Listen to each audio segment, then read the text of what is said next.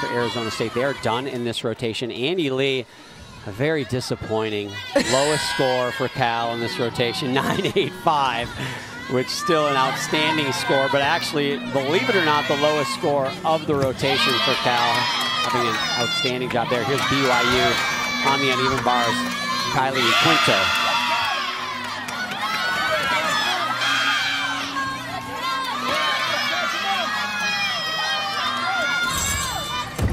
There you go. She comes out to a good strong. I will tell you, she's a newcomer. Keep